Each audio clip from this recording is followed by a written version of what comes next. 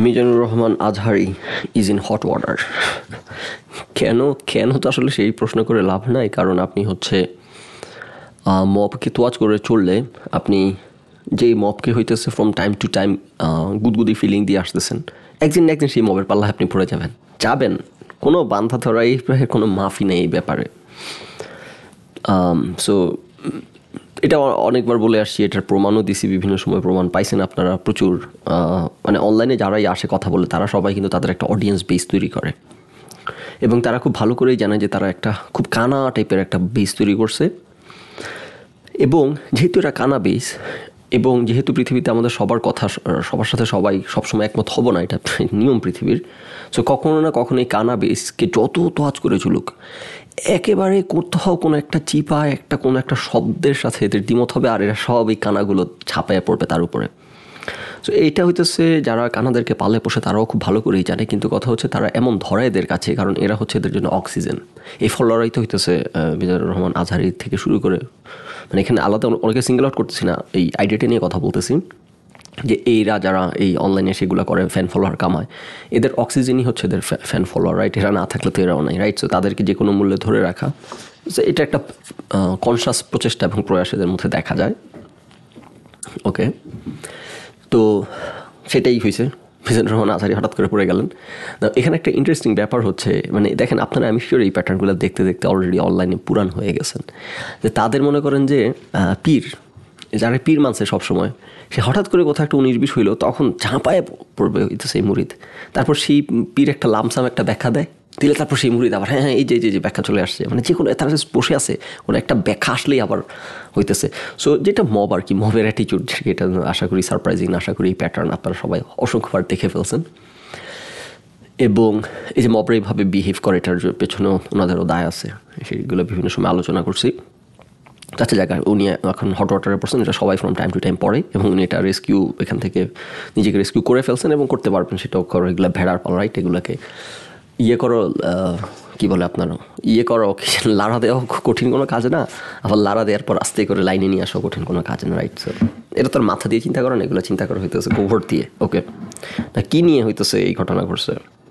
এটা হচ্ছে মিজানুর রহমান আজহারি একটা টুইট করছেন, ওনার উনি করছেন কিনা সেই আলোচনায় আসতেছি। ওনার টুইটার ভ্যারিফাইড টুইটার প্রোফাইল থেকে ভ্যারিফাইড টুইটার অ্যাকাউন্ট থেকে এই টুইটটা করা হয়েছে রাইট ওকে তো এইখানে উনি, আমি একটু শর্ট করে নিয়ে আসি, উনি কী বলছেন? উনি বেসিক্যালি ইসরায়েল হামাসের ক্ষেত্রে ইনোসেন্ট সিভিলিয়ান যে কোনো সাইডে হত্যা করাকে উনি কন্ডেম করছেন। ইসরায়েলের সাইডে যদি ইনোসেন্ট সিভিলিয়ান হত্যা করা হয়, হামাসের হাতে সেটাকেও কন্ডেম করছেন এবং হামাসের সাইডে যদি ইনোসেন্ট সিভিলিয়ান হত্যা করা হয়, ইসরায়েল দ্বারা সেটাকেও কন্ডেম করছেন।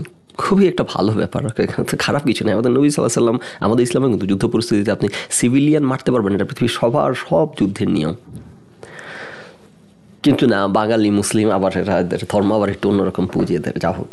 স্যার এটা একটা খুবই পৃথিবীর সবচেয়ে ফেয়ার কথা বলছে। না ফেয়ার কথা বলা যাবে না। কারণ এখানে এই এই বদবাসগুলোর মধ্যে কিন্তু বিন্দুমাত্র ফেয়ারনেস নেই। তারা নিজেদের জন্য ফেয়ারনেস আশা করে, কিন্তু অন্যের বেলায় ফেয়ারনেস কথা বললে গরম হয়ে ওঠে ওরা।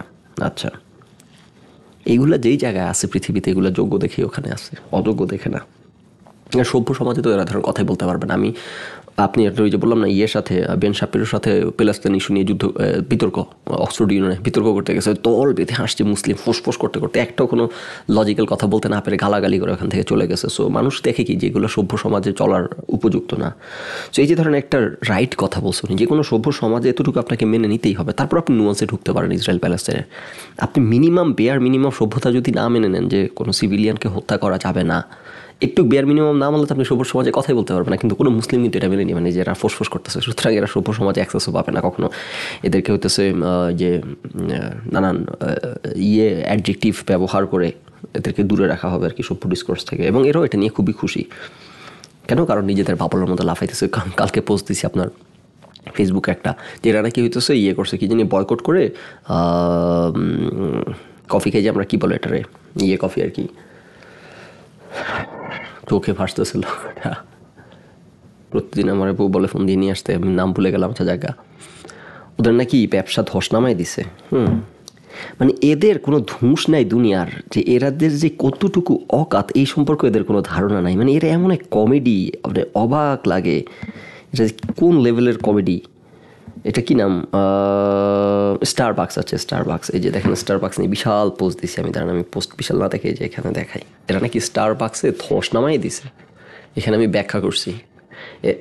এগারো billion dollar stock price drop করছে নাকি মুসলিমদের মুসলিমদের স্টারবাক্স কফিকে বয়কট করায় এখানে আমি আলোচনা করলাম আর কি যে, এরা যে কোন লেভেলের গান্ডুরে ভাই আনবিলিভেবল এগারো বিলিয়ন ডলার কত ডলার এগুলোর কোনো ধারণা আছে? মুসলিমরা হইতেছে স্টারবাক্সকে বয়কট করে কফি খাওয়া, এগারো বিলিয়ন ডলার ধস নামাইছে স্টক প্রাইসে হাই খোদা। এগুলো যে কোন লেভেলের মন কলা খাওয়ায় থাকে সারাটা দিন, এগুলো তো তামাশা দেখি আর হইতেছে এই জন্য কথা বলি যে নেওয়া যায় না মাঝে মধ্যে বাংলাদেশের যে পাওয়ার প্ল্যান্ট হচ্ছে রূপপুর পাওয়ার প্ল্যান্ট ওটা তো অত খরচ হয় নাই। আর মুসলিমরা। সো যাকে ওটার ব্যাখ্যা কি ওখানে দিচ্ছি ওটা হইতেছে এখানে মালিক পক্ষের সাথে শ্রমিক পক্ষের স্টার পাক্সের দীর্ঘদিন ধরে টানা পোড়েন চলতেছে আর কি। সো সেই টানা পোড়েন থেকে বয়কট করছে হচ্ছে শ্রমিকরা। স্টার পাক্সের শ্রমিকরা হইতেছে বয়কট করছে, তারা কাজে আসে নাই। কাজে না আসায় মানুষজন লাইন ধরে দাঁড়ায় ছিল কফি খাওয়ার জন্য। এমন না যে এই গ্রাহকরা বয়কট করছে। কোনো মানুষ নাই কফি বিক্রি হচ্ছে না। না না, লাইন ধরে দাঁড়ায় আছে কফি খাওয়ার জন্য। তাদের এখানে একটা স্পেশাল রেট ডে আছে এই যে ইয়ে উপলক্ষে ওই যে থ্যাংকস গিভিং এই সেই উপলক্ষে। সেই দিন কাস্টমার লাইন ধরে দাঁড়ায় আছে কিন্তু শ্রমিকরা বয়কট করা হইতেছে কোনো বেচা বিক্রি হয় না। সেই কারণে এগারো billion dollar stock price drop করছে। ওইটারে হইতেছে এইগুলা বয়কট করায় বয়কট করায় হ্যাঁ বয়কট করায়। মুসলিমরা বয়কট করে না কর্মচারীরা বয়কট করায়। সো দেখেন এইটা আমি শুধুমাত্র আমি যখন দেখলাম এগুলো পোস্ট দিয়ে বেড়াচ্ছে এবং তথাকথিত এই মুসলিম উম্মার রিপ্রেজেন্টেটিভ স্মার্ট লোকজন বাংলাদেশের যারাদেরকে আপনারা স্মার্ট বলে ধারণা করবেন বিজনেস ব্যাকগ্রাউন্ডের একটা বাংলাদেশের বিজনেস ব্যাকগ্রাউন্ডের স্মার্ট হুজুরের যদি একটু ধারণা না থাকে, এগারো বিলিয়ন ডলার কত পরিমাণ টাকা এবং স্টারবাক্সের কফি বয়কট করে এগারো billion dollar stock price drop drop করানোর অকাত মুসলিম উম্মার আছে কি না একটু বেসিক কমন সেন্স নাই জাস্ট সিম্পলি একটু দেখলে যে এগারো billion dollar stock price drop করছে বয়কটের কারণে। একটু দেখলে যে কোনো কমন সেন্সিক্যাল মিনিমাম নলেজ পৃথিবী কেমনে কাজ করে বিজনেস ব্যাকগ্রাউন্ডও লাগবে না। যে তো হইতেই পারে না। এগারো বিলিয়ন ডলার কি খামখেয়ালি কথা? মুসলিমরা তো এগারো বিলিয়ন ডলার এক বছর ধরেও এই পরিমাণ কফি খায় না। তো এই স্টক প্রাইস মুসলিমদের বয়কটের কারণে ড্রপ করবে কেন? এবং স্টারবাক্সের স্টক প্রাইস ড্রপ করতে হলে স্টারবাক্স তো আমেরিকা বেস্ট কোম্পানি সেখানে স্টক মার্কেটে যারা ইনভেস্ট করে আমেরিকানরা ইনভেস্ট করতেছে। তো তারা কেন ড্রপ করবে? মুসলিমরা কোথায় লাফালাফি করতেছে ফেস মানে এগুলো কী পরিমাণ লেমনেস এগুলো বলে ভাষায় প্রকাশ করতে গেলে নিজে মা নিজেরা পাগল পাগল লাগে।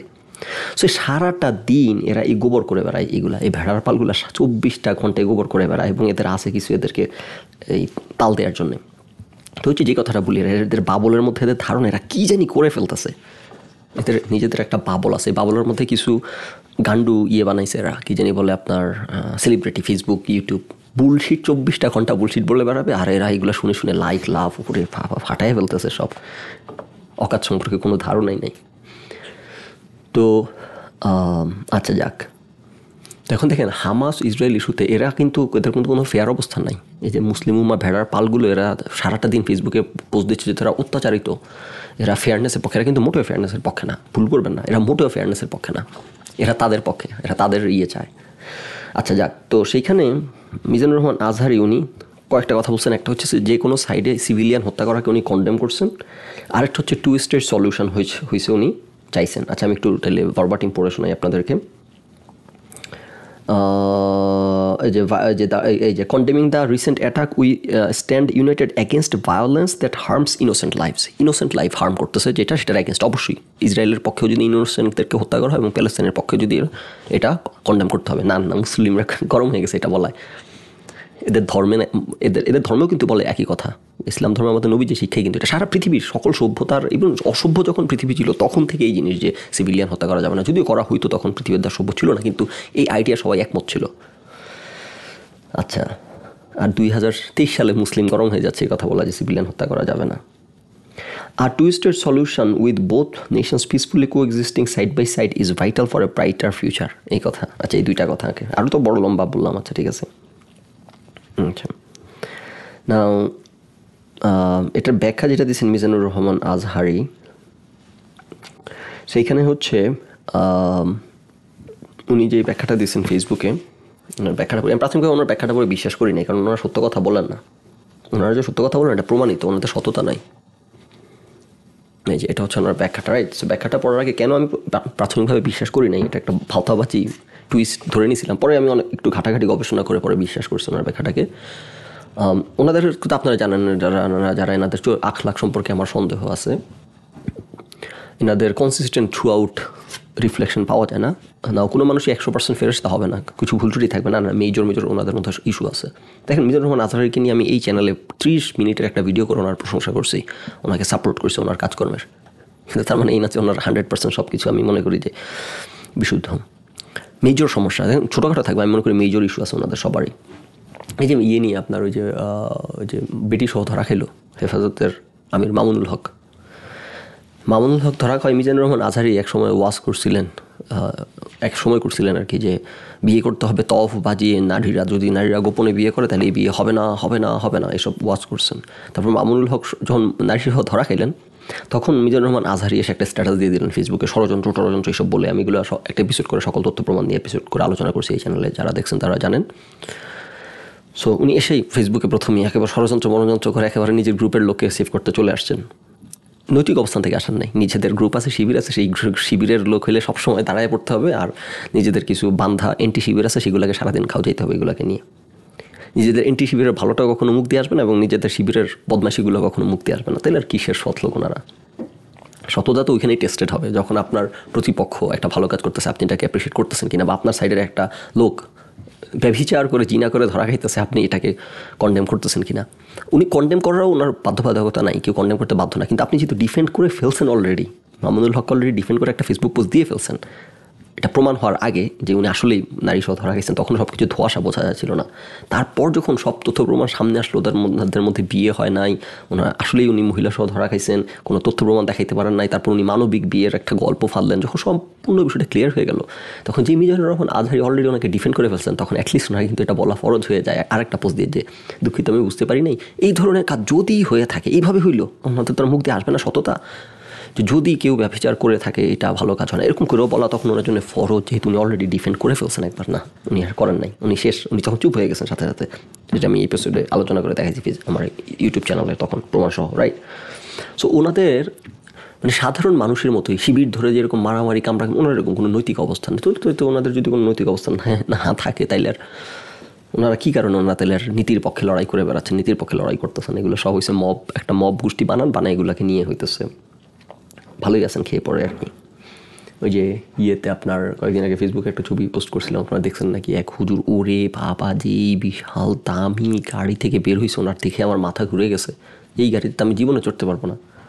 উনি গাড়িতে চড়েন কীভাবে? কোথেকে আসে টাকা? আচ্ছা ভেড়ার পালরা হইতেছে ওই খা কি, খানকার মধ্যে দান করে গরু, ছাগল, না? আচ্ছা ওকে তো জায়গা, উনি কি যে ব্যাখ্যাটা দিচ্ছেন মিজানুর রহমান আচারি সাহেব, যে ব্যক্তিগতভাবে আমি কখনো টুইটার চালাইনি, শুধু আমার ভেরিফাইড ফেসবুক পেজটি আমি চালাই, বাকি হ্যান্ডেলগুলো অ্যাডমিনরা চালায়। সম্প্রতি প্রতারক চক্র আমার নামে একাধিক টুইটার অ্যাকাউন্ট ভেরিফাইড করে নিয়েছে, তারপর এক ভাইকে আমার টুইটার ভেরিফাই করা এগুলো গেলে বলছে বেসিক্যালি উনি বলছে যে, ফিলিস্তিনের আমার ব্যাখ্যা বলতে, ব্যাখ্যা করতে, অবস্থান ব্যাখ্যা করতে হবে বলে মনে হয়। তো উনি যেটা বেসিক্যালি বলছেন যে, এটা হইতেছে উনি শুধুমাত্র ফেসবুকে পোস্ট করেন, এবং টুইটার উনি কখনোই পোস্ট করেন নাই এবং সম্প্রতি হচ্ছে ভেরিফাই করার পর ওনার হয়ে হইতেছে অ্যাডমিনকে হইতেছে দায়িত্ব দিছে এবং সে কিছু পোস্ট করে। এগুলো সম্পূর্ণ মিথ্যা ব্যাখ্যা হইতেই পারে। আমি ধরে নিছি মিথ্যা ব্যাখ্যা। মব জানি অ্যান্টি হয়ে না যায়, ওনাদের তো জীবন চলে এই এদের উপর রাইট সো আমি সেটা ধরে নেওয়ার পর আমি একটু ঘাটাঘাটি করলাম ওনার টুইটার অ্যাকাউন্টে গিয়ে। তারপর একটু রিসার্চ ভালো মতো রিসার্চ করছি করে আমি ওনার ব্যাখ্যা অ্যাকসেপ্ট করলাম শেষ শেষ পর্যন্ত। যে ওনার যে টুইটার অ্যাকাউন্টটা এই অ্যাকাউন্টটা হচ্ছে তে ফার্স্ট পোস্ট করা হয় দুই হাজার একুশ সালের মার্চ মাসে দেখলাম। তার মানে এই অ্যাকাউন্টটা দীর্ঘদিন ধরে আছে। সো উনি এখানে যে বললেন যে রিসেন্টলি কি বলছেন যে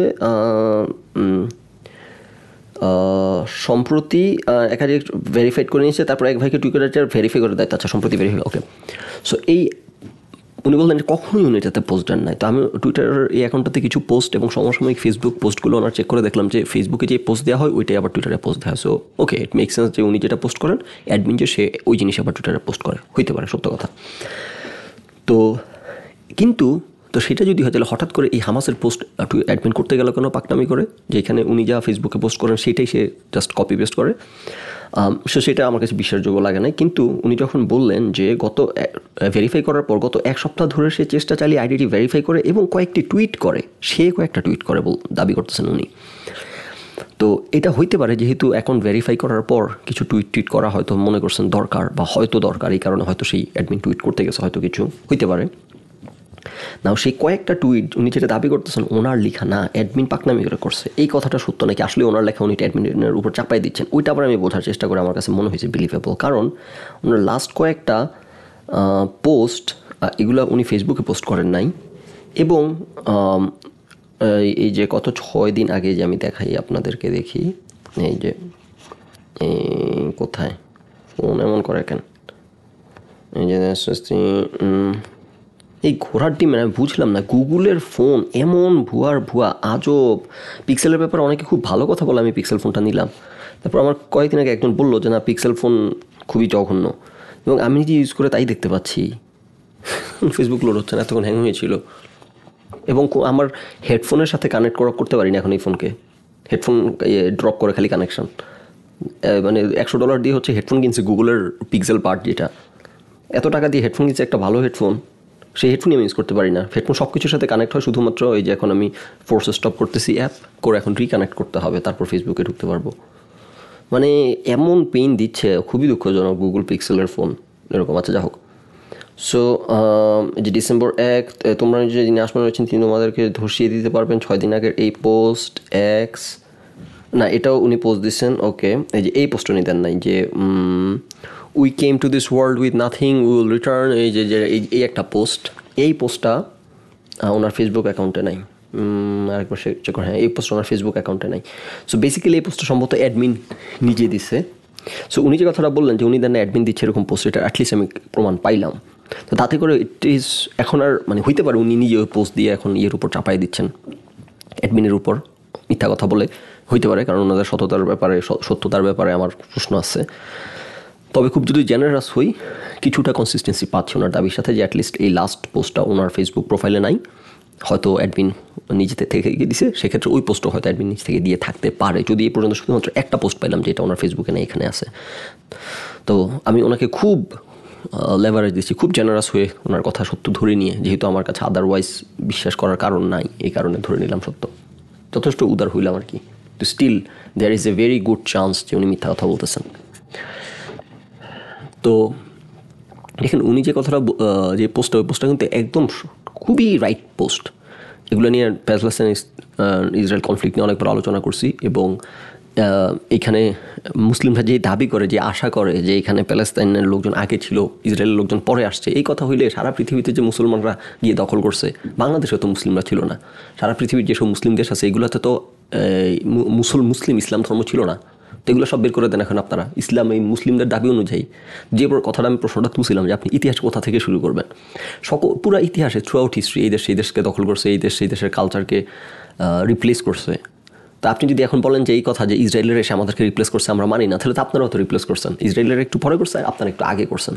কোথেকে শুরু করবেন ইতিহাস? সেইগুলো নিয়ে আমি আমার আলোচনা ব্যাখ্যা করছি। যাই হোক সো এখানকার রাইট অবস্থান এটাই যে কোনো সাইডে সিভিলিয়ান হত্যা করা যাবে না এবং এই টু স্টেট সলিউশন এটাই সভ্য সলিউশন আমাদেরকে যেটা করতে হবে, নিশ্চিত করতে হবে যে ইসরায়েল কোনো ধরনের দমন নিপীড়ন করতে পারবে না প্যালেস্তিনিয়ানদের উপরে, যেটা ওরা করতেছে এবং করবে এবং সেটা আমরা কন্ডেম করব। কিন্তু সেটা কন্ডেম করতে গিয়ে যদি আমরা বলি যে আমরা ইসরায়েলের অস্তিত্বই মানে এখান থেকে বোমা মেরে উড়িয়ে দিতে হবে এবং হচ্ছে সিভিলিয়ান হত্যা করা যায়, যে কথা বলা যাবে না যে ইসরায়েলি সিভিলিয়ান হত্যা করা যাবে না, ইসরায়েলি প্যালেস্তাইনি সিভিলিয়ান হলে হত্যা করা যাবে না, ইসরায়েলি হলে আবার করা যাবে। সো এই যে এরকম অসতেরা, এই অসৎগুলাকে হচ্ছে কেন? মিজানুর রহমান আজহারের এই কথাটা বলার সৎসাহস নাই। যে ওই পোস্টের, ওই পোস্ট আমি করি নাই, ওই পোস্টের সব কথাকে আমি অ্যান্ড্রোস করি না। মানলাম টু স্টেট সলিউশন উনি মানেন না, এটা কোনো নৈতিকভাবে রাইট অবস্থান হয় না। কোনো সাইডে সিভিলিয়ান হত্যা করা যাবে না। উনি, এই কথাটা বলার কিন্তু সৎসাহস নাই, মবের ভয়ে। এই কথাটা বলার উনি ক্লিয়ার বলেন আপনি সাহস থাকলে। আপনি ইসলাম ধর্ম এত প্রচার করা, ইসলাম ধর্ম যদি প্রচার করবেন, এই মবগুলা যে সারাদিন এরকম উন্মাদের মতো করে, এদের অ্যাগেনস্টে গিয়ে তো কোনো কথা জীবনে বলেন না। বলেন না, একটু কথাটা বলেন দেখি, সাহস করে। যে কোনো সাইডে সিভিলিয়ান হত্যা করে আমাদের ইসলাম ধর্মের শিক্ষাও না। সুতরাং ওই পোস্টারে আমি সব কিছু সমর্থন না করলে আমি এতটুকু সমর্থন করি যে সিভিলিয়ান ইসরায়েলি হলে হত্যা করা যাবে না। হামাস ইসরায়েলি সিভিলিয়ান হত্যা করতে সেটাকে আমি সমর্থন করি না। এটা আমাদের ইসলাম ধর্মের শিক্ষা না। বলেন দেখি। কি বলব আসলে এরা?